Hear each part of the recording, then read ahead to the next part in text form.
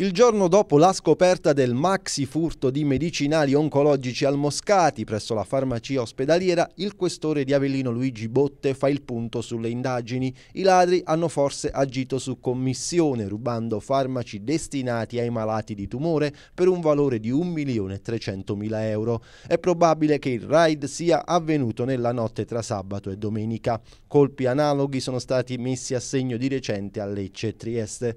L'ospedale ha assicurato che che i frigoriferi saccheggiati saranno presto riforniti e in caso di emergenza si chiederà il supporto dell'Istituto Pascale di Napoli. Il questore non si sbilancia, ma di certo c'è qualcosa che non ha funzionato nella vigilanza. Ancora una volta devo eh, sottolineare come dei locali eh, importanti, eh, dei locali che contengono dei medicinali ad alto costo, ma soprattutto medicinali che usati impropriamente sono estremamente pericolosi, vengano lasciati senza un minimo di eh, protezione. Da quello che mi hanno raccontato gli investigatori e dal modus operandi ritengo che comunque era preordinato al massimo e ritengo che sia stato mirato a determinate sostanze medicinali.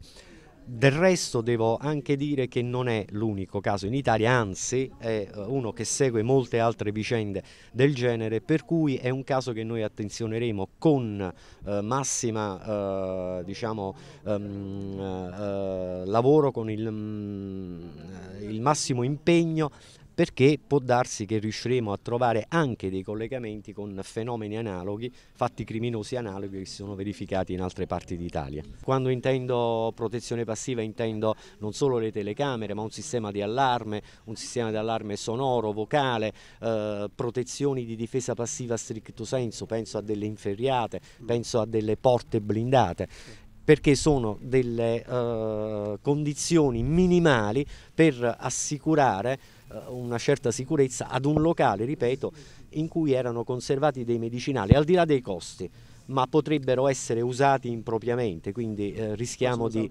rischiamo, rischiamo, di, inguaiare eh, la vita a, a molte persone.